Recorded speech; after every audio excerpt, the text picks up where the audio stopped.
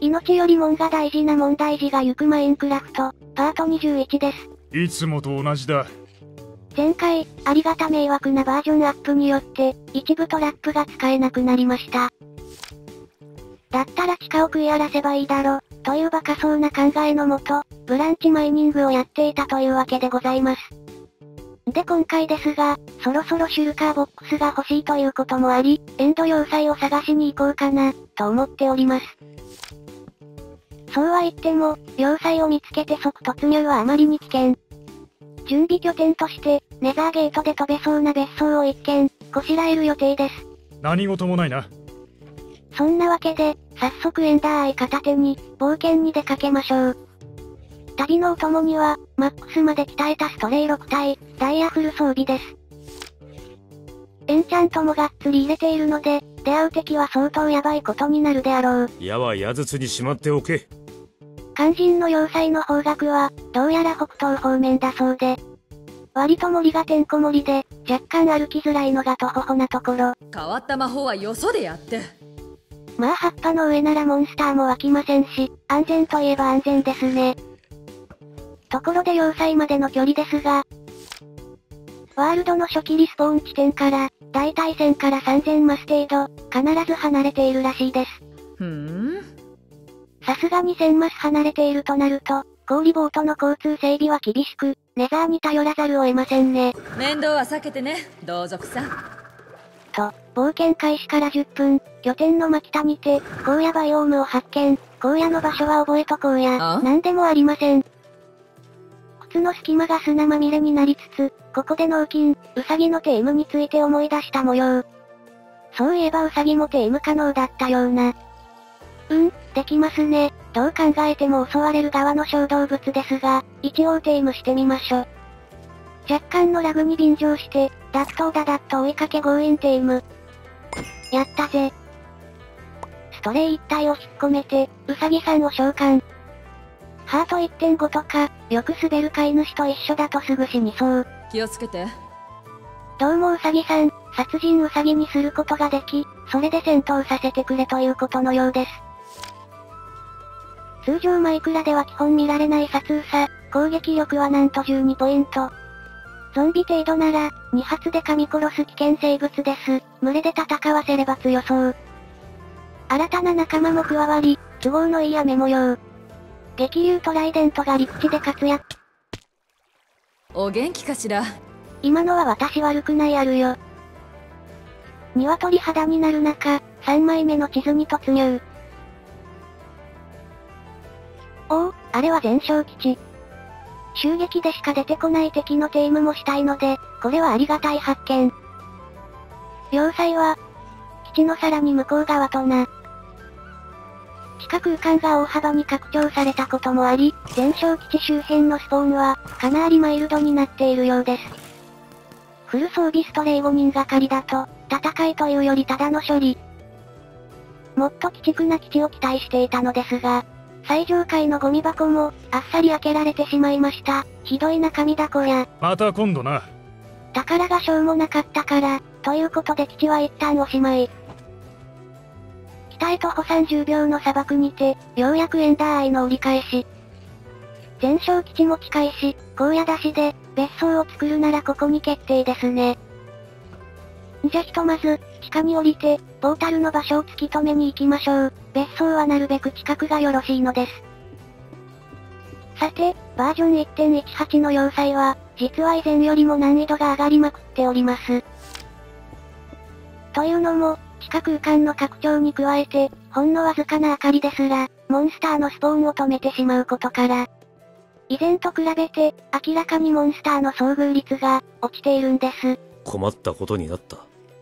え、じゃあ難易度は下がったんじゃないのと思われるかもしれませんが。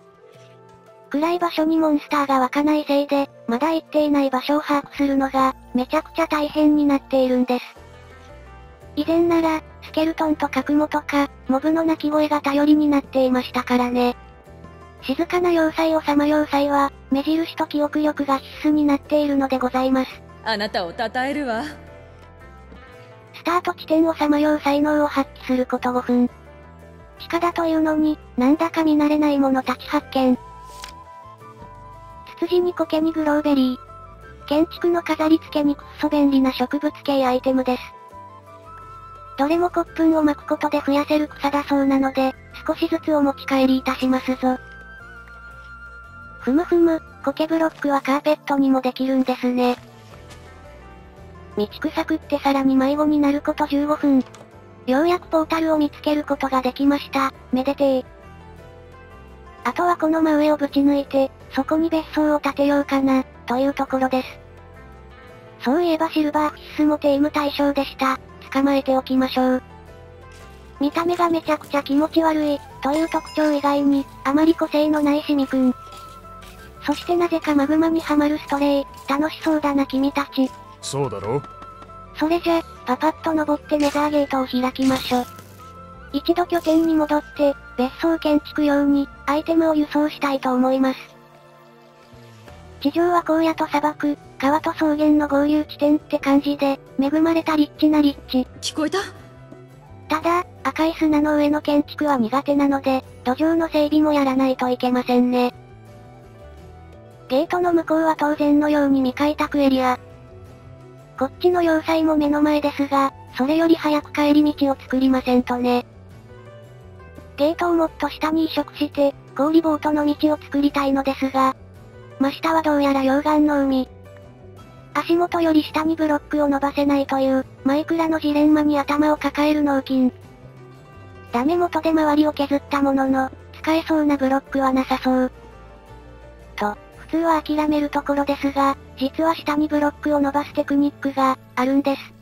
おかしな真似はしないわよね足場がない？だったら泳げばいいだろ。ちょっとちょっと火炎耐性4もあれば、マグマでの作業なんて、割ときついので早くブロックつけさせてくださいおなしゃす。ふう、なんとかミディアムレアで済みましたね。致命傷にならず、ほっとしております、マグマなだけに。面白いマグマと同じ高さにブロックを置ければもうこっちのもの。拠点まで超高速で滑り散らかす、氷トンネルが開通いたしました。これで拠点からエンドポータルまで20秒、効率使って効率最高です。今夜は冷えるわよさてさて、改めて別荘の立地ですが、西側に全焼基地、荒野に砂漠、広めの川と、ここが初期リスポーンだったら、結構な当たりと言えるレベルの地形でございます。うんうん。別荘を建てるにあたり、まずは軽く整地。第一段階として、目印用に白樺をセット。この内側に家を建て、外側には水のカーテンを垂らす、そういう予定です。枠取りができたら、内側に砂を敷き詰めの。砂の高さを基準に、白樺を11段積み上げ。並行して、外側にも同じ高さの柱を、1本ずつ置いておきます。コーナーはこんな感じで、あ？はい。罪深いダジャレと白樺を積み上げたら、そのラインに沿うように、多くの階段をば。下にお客様が内見にいらっしゃっていますが、ノンアポなので無視して OK です。また今度。水カーテンの張り方ですが、このままだとバケツの水が階段に吸われるので、一マス置きくらいで、ハーフブロックをかませておきましょ。ハーフブロックめがけ水をぶち込んだら、さらにハーフで蓋をして、階段外周を焚き火でコーティング。これだけだと脳筋の頭並みに貧弱ですから、色違いの原木で、補強をしてみます。すべて同じ高さだと面白みがないので、適度にずらすことをお勧めします。で仕上がりはこんな感じ。この内側にネザーゲート付きで、簡単な家を作っていきます。家のアイディアがまだ浮かんでいないとか、大っぴらには言えないっすけど、脳みそを砂糖漬けにしてなんとかしましょう。怠けないでよはい。アイディアに困った時、クラフターの救世主となるのがお豆腐。今回は 8×8 のお豆腐をベースに作っていくことにします。8×8 とは申しましたが、実際の高さは9マス。一番下の1マスは、後で水浸しにしますので、余分に1マス分、積んでいるだけですね。8×8 の隣には、高さ5マス程度の、低めの豆腐を1つ追加。屋根はガラス張りにして、これでもかと言わんばかりに水を投入。家の背景が砂漠と荒野で占められているので、涼しさアピールに水が欠かせませんね。そうだな。家の原型ができたので、次は道作り。地獄の門から別荘玄関まで、木材系で橋渡し。で、ここで問題になってくるのが、色の少なさです。いつもの感覚だと、ここに葉っぱを足して、緑を増やしたいのですが、その土で何をするつもりだ？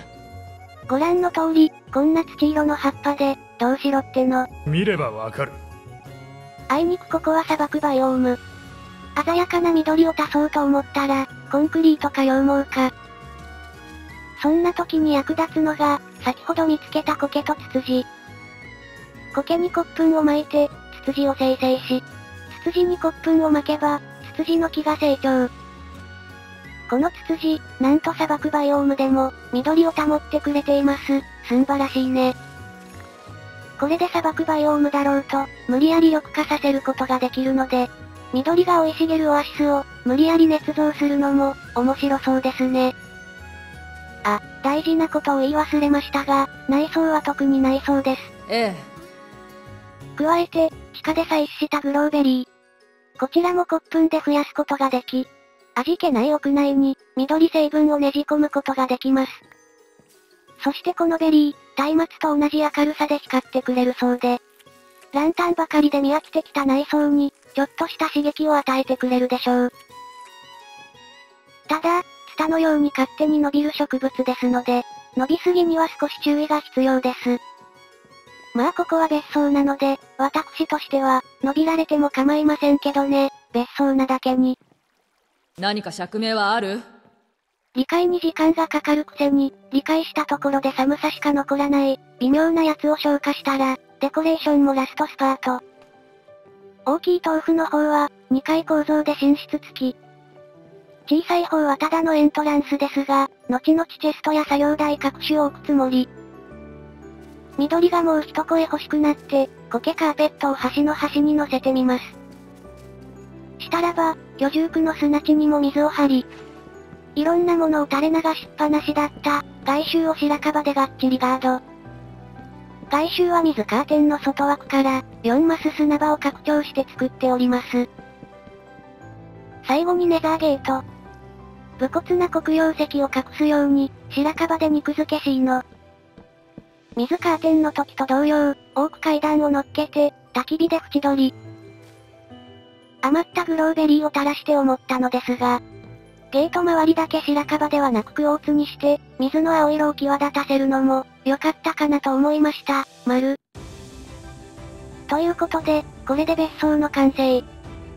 外周の白樺に乗せる、苔カーペットが足りていないとか、敷地に入るための入り口部分を、もうちょっとなんとかできないかなど、気になることはまだありますが、あいにく骨粉不足につき、苔関連の工事が一時中断しております。ということで今回の成果は、要塞の発見と、拠点とエンドポータルまでが、快適な形で接続されたこと、でした。次回はエンドラ戦の準備として、不死のトーテムを手に入れられれば、と思っております。ここまで作っておいて、エンドでワールド削除とか、つまらないダジャレ並みに笑えませんからね。そこはしっかり準備いたします。そうね。それじゃ、今回はこんなところで。ご視聴、ありがとうございました。